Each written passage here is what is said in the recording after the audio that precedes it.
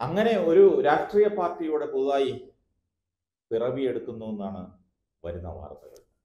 P V Anwar M L എയുടെ ലക്ഷ്യം പുതിയ പാർട്ടിയും യു ഡി എഫ് മുന്നണിയുമാണ്. അത്തരത്തിലുള്ള ചില വാർത്തകളാണ് പുറത്തു വരുന്നത്. അൻവറിന്റെ സമീപകാലത്തെ തുറന്ന പറച്ചിലിനും അതേ തുടർന്നുണ്ടായ കോലാഹലങ്ങളും ഒക്കെ അത്തരത്തിൽ ചിന്തിക്കാവുന്നതാണ്. അൻവറിനൊപ്പം കെ ടി ജലീലും റസാഖ് കാരാട്ടും മുന്നിലുണ്ടാകുമെന്നും ഐ എൻ എല്ലിന്റെ വഹാബ് പക്ഷവും കൂടെ ഉണ്ടാകുമെന്നും പറഞ്ഞു കേൾക്കുന്നു. സാഹചര്യങ്ങൾ വെച്ച് നോക്കുമ്പോൾ വാർത്തയിൽ പതിനുണ്ടെന്ന് തോന്നുന്നില്ല. കാരണം ഇവർക്കൊന്നും ഇനി സി പി എമ്മിൽ ഒരു സ്ഥാനമോ മത്സരിക്കാൻ സീറ്റോ ഒന്നും കിട്ടുകയില്ല. അതാണ് ഇവരെ മാറി ചിന്തിക്കാൻ പ്രേരിപ്പിക്കുന്ന ഘടകം. സി പി എം രണ്ട് തവണ ഒരാളെ പരീക്ഷിക്കും. മൂന്നാം തവണ വിജയിക്കാനുള്ള സാഹചര്യങ്ങൾ ഉണ്ടെങ്കിലേ സീറ്റ് നൽകൂ. അൻവർ മൂന്ന് തവണ നിയമസഭയിലേക്കും രണ്ട് തവണ ലോക്സഭയിലേക്കും മത്സരിച്ചു. ആദ്യം മത്സരിച്ചത് രണ്ടായിരത്തി പതിനൊന്നിലെ നിയമസഭാ തെരഞ്ഞെടുപ്പിൽ ഏർനാട് മണ്ഡലത്തിൽ നിന്ന് സ്വതന്ത്രനായിട്ടായിരുന്നു.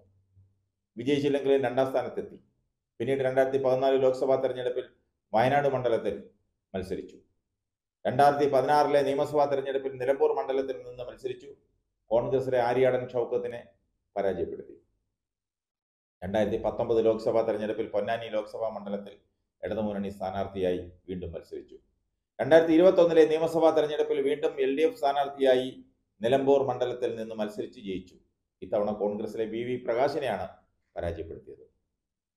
രണ്ടാം തവണ നിയമസഭയിൽ എത്തിയപ്പോൾ മന്ത്രിയാകുമെന്നൊരു പ്രതീക്ഷ അൻവറിനുണ്ടായിരുന്നു. പക്ഷെ പാർട്ടി പരിഗണിച്ചില്ല. ഇപ്പോഴത്തെ തുറന്നു പറച്ചിലും പോരാട്ടങ്ങളിലും അതൊന്നും വിഷയമല്ലെങ്കിലും ഇനി സി പി എമ്മിൽ നിന്നിട്ട് കാര്യമില്ലെന്ന് തന്നെയാണ് കൂടെയുള്ളവർ കൂടെയുള്ള പ്രവർത്തകരുടെ അഭിപ്രായം. അതുപോലെ തന്നെയാണ് കെ ടി ജലീലും. ജലീൽ മൂന്ന് തവണ എം എൽ എ ആയി. രണ്ടായിരത്തി പതിനൊന്ന് മുതൽ തവനൂർ മണ്ഡലത്തെ പ്രതിനിധീകരിക്കുന്നു. ആദ്യം കുഞ്ഞാലിക്കുട്ടിയെ പരാജയപ്പെടുത്തിയതാണ് നിയമസഭയിലെത്തിയത്.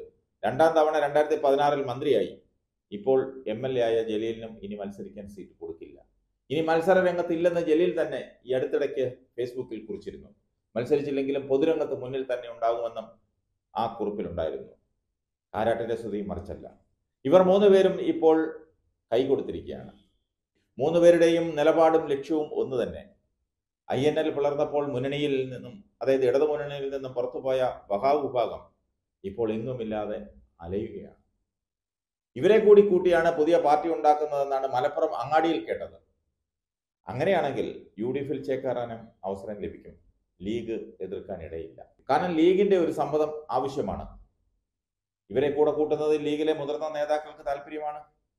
വോട്ടുകൾ ചിതറിപ്പോകാതിരിക്കാൻ ഇവരെ കൂട്ടണമെന്ന് തന്നെയാണ് ചില ലീഗ് നേതാക്കൾ പങ്കുവയ്ക്കുന്നത്.